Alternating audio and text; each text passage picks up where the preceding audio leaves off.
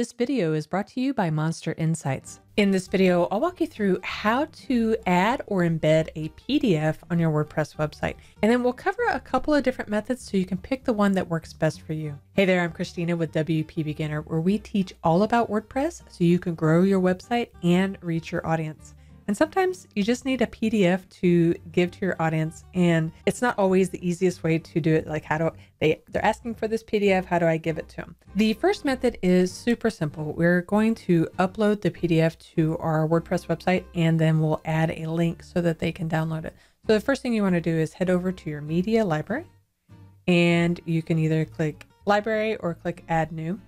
From here, we want to find the file that we're uploading you can select the file and we're doing this. So now that we have this, we need to go in and edit and we need to get the file URL. So I'm just going to highlight this whole area and copy, or you can just copy URL here. And now we want to go create the post. So I'm going to go to all posts, add new, and add the information wherever it is that you're wanting the post to be.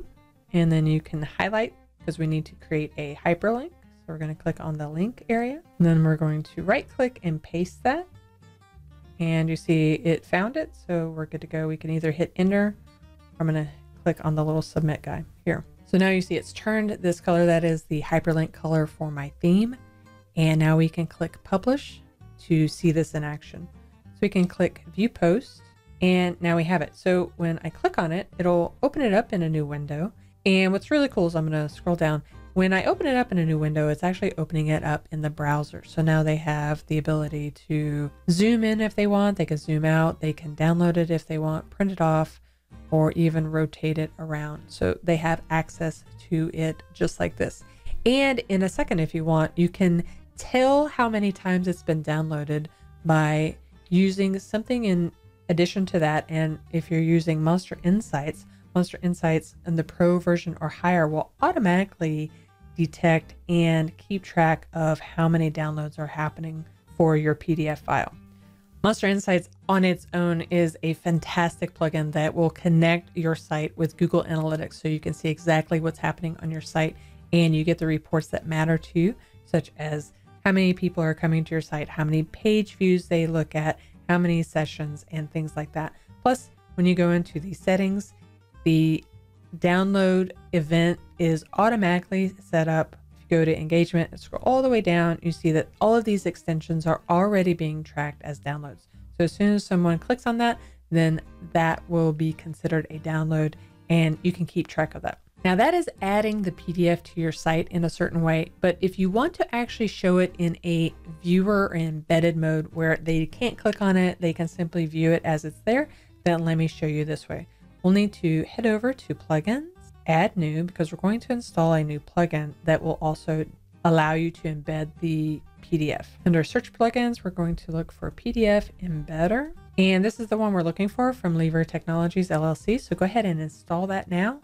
Once you install it, make sure you stick around to activate it as well. Once it's activated, you'll see it down here under your plugins area. You can either go to settings here, or if you ever need to come back to work on your PDF embedder, you can go under settings under the main settings, go to PDF embedder, and from here you can work on it. Now, the default viewer settings that you can set that up and basically any PDF that you embed using this plugin will automatically show that width and the height if you want to do that. You can also choose to show toolbar location. Scrolling down, you can also see that there's some premium features that you can do if you upgrade, such as giving them the ability to download the plugin or to open links in a new browser. You can also view or track downloads, but I just showed you how you could do that otherwise, as well as continuous page scrolling. So it's already automatically set up. And then you see under mobile, there's also some premium items. But we can go to all posts with just the free version. We can go to the Power Words post that we've been working on. And instead of doing the link that we showed, the hyperlink that we created, I'm going to start a new line so I can use a new block and we can click on the little add block button and we're looking for PDF and PDF embedder is what we want. From here, it's asking us to open the media library. You're going to either upload the file that you need, but since we already have it, I'll click on this and add a caption and a description for the PDF here. And then we'll select it. So that's in here now. We can update this. I'm going to open it in a new window so you can see it in action. Great. And now this is the link that we added on our own. And scrolling down here, you see the embedded PDF where you can allow them to zoom in if they want, and then they can click on the little page plus here so that they can go through. So two very simple ways to embed or showcase the PDF that you're trying to add for your users. Each one might be a different reason for you to use it, so you want to pick the one that works best for you. And then if you want to see what else Monster Insights can do for your website, you can just head over to monsterinsights.com and make sure you use promo code WPB VIP and you'll get the best discount on Monster Insights. And thanks for watching.